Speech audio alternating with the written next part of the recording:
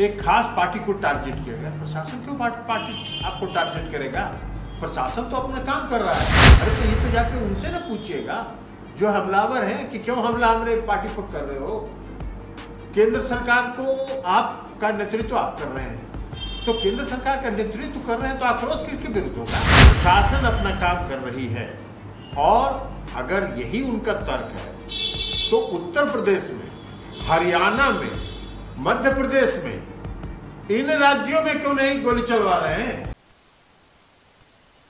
भाजपा नीतीश के गठबंधन को लेकर अब काफ़ी चर्चा होने लगी है तो ऐसे में चर्चा यह है कि भारतीय जनता पार्टी और मुख्यमंत्री नीतीश कुमार के बीच जो गठबंधन है, ये कब तक चलेगा?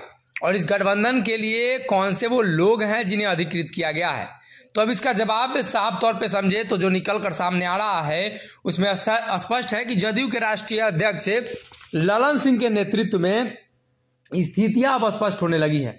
आरसीपी के किनारे के बाद अब कहीं ना कहीं नीतीश कुमार से कोऑर्डिनेशन के लिए कोई वैसे व्यक्ति की ज़रूरत है जो दोनों पार्टियों के विचारधारा को समझ पाए। लेकिन वैसे लोगों की कमी के बाद अब ललन सिंह ने भी स्पष्ट किया है कि कहीं ना कहीं जो अधिकृत लोग हैं वो वही है। ललन सिंह ने साफ़ तौर पे उपेंद्र कुशवाहा पर बयान देते हुए और मानसिक स्थिति उनकी खराब बता दी है। अब तस्वीरें देखिए। ललन सिंह इस वीडियो के माध्यम से क्या कुछ कह रहे हैं और कैसे वो स्पष्ट कर रहे हैं?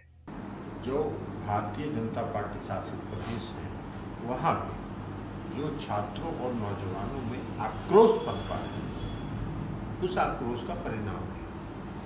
अब उस आक्रोश के कारण हमको लगता है कि संजय जायसवाल जी अपना संतुलन खो बैठे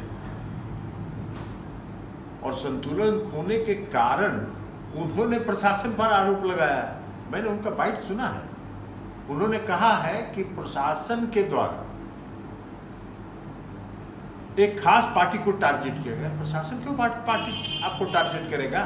प्रशासन तो अपना काम कर रहा है। प्रशासन आपको क्यों टारगेट करेगा? उन्होंने कहा है कि एक खास पार्टी का, भारतीय जनता पार्टी के दफ्तरों पर हमला क्यों हुआ? अरे तो ये तो जाके उनसे ना पूछिएगा, जो हमलावर हैं कि क्यों हमला हमारे पार्टी पर कर रहे हो? केंद्र सरकार को आपका नेतृत्व तो आप कर रहे हैं। तो केंद्र सरकार का नेतृत्व तो कर रहे हैं तो आक्रोश किसके विरुद्ध होगा?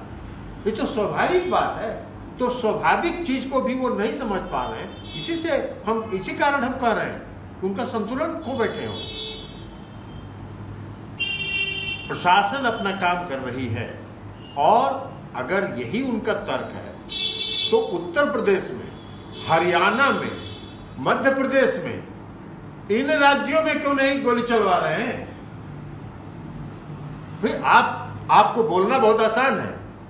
पार्टी के प्रदेश अध्यक्ष के रूप में जो मत... अगर ये वीडियो पसंद आई और वह बिहार के राजनीति और बिहारियत से सरोकार रखेनी तो सब्सक्राइब बटन दबा के चैनल के सब्सक्राइब कर ली। ओजे एगो घंटी बा ओकरा बटन दबा देला से कुल सटीक और मारक खबर रुआ मुफ़्त में मिल जाए अगर रुआ पत्रकारिता के हमनी के नया प्रयोग में सहयोग कर चाहतनी तो ज्वाइन बटन दबा दी।